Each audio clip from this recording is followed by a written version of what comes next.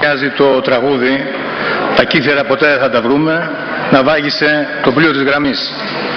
Ε, γιατί κάτι τέτοιο συνέβη και το δεύτερο που θέλω να προσθέσω ότι δεν είναι ακριβώς σπόρο το να θέλει κάποιος να μετακινηθεί με το καράβι και να πάει στον Πειραιά ή να πάει στην Κρήτη ή στο Κύθιο.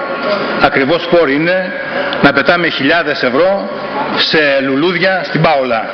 Νομίζω ότι αυτό είναι ακριβότερος σπόρο από το να μετακινείται κάποιος δεξιά και αριστερά με το καράβι για να πάει στη δουλειά του.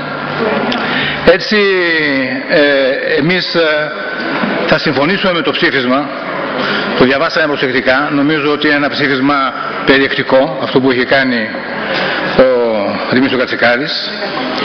Και θέλουμε επίσης ε, να πούμε αυτό που συζητήσαμε και στο διάδρομο προηγούμενα, ότι θα πρέπει να γίνει η άποψή μας διακριτή, δηλαδή θα πρέπει από εδώ πέρα μέσα να βγούμε και να πούμε και να γίνει κατανοητό στον τύπο ότι εμείς δεν ε, ερχόμαστε, δεν είμαστε στην ίδια γραμμή με αυτή που έχει ο κ. Βαρβιτσιώτης, ο οποίος απαντώντας στον Θοδωρή το Δρίτσα, όταν στη Βουλή έφερε το θέμα, είπε αυτά τα οποία είπε.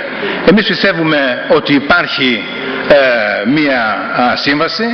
Η σύμβαση αυτή πρέπει να εξυπηρετηθεί. Ε, είναι γνωστό πια ότι στα κύθερα τα κύθερα έχουν αποψηλωθεί από μια σειρά από υπηρεσίες. Ούτε δόη δεν υπάρχει πια στα κύθερα, ούτε δασαρχείο δεν υπάρχει πια στα κύθερα. Όλα είναι αλλού.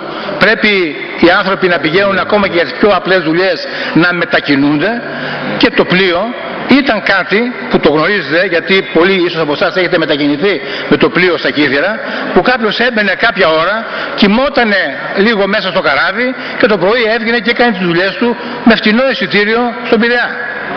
Λοιπόν, δεν είναι δυνατόν να λέμε ότι ε, αποκόπτουμε ε, τον πληθυσμό από το να μπορεί να μετακινηθεί, να κάνει τις δουλειές του.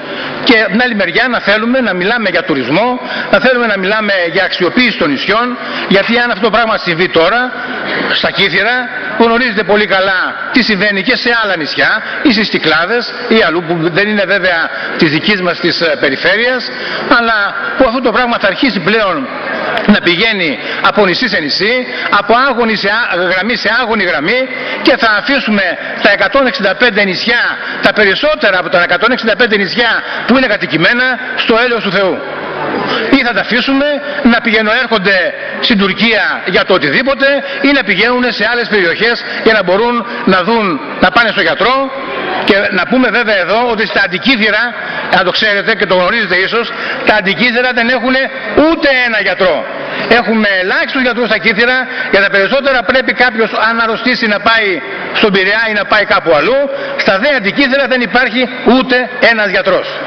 Άρα α, καταλαβαίνετε ότι κάτω από αυτές τις συνθήκες ε, νομίζω ότι ναι μεν να ψηφίσουμε και νομίζω ότι είναι καλοφτιαγμένο αυτό το ψήφισμα, να γίνουμε διακριτοί, να βγούμε προς τα έξω, να βγούμε στον τύπο ότι εμείς ψηφίσαμε αυτό το ψήφισμα για αυτούς και για αυτούς τους λόγους, τους συγκεκριμένους και βέβαια να κανονίσουμε άμεσα συνάντηση, ο Περιφερειάρχης, δεν ξέρω ποιοι άλλοι θα πάνε μαζί του ή ποιοι άλλοι θα πάνε, να πάμε στον κύριο Βαρδιτσιώτη και να του πούμε ότι αυτά που λέει δεν έχουν καμία επαφή με την πραγματικότητα που βιώνει ο νησιώτικος λαός του Κεθύρων.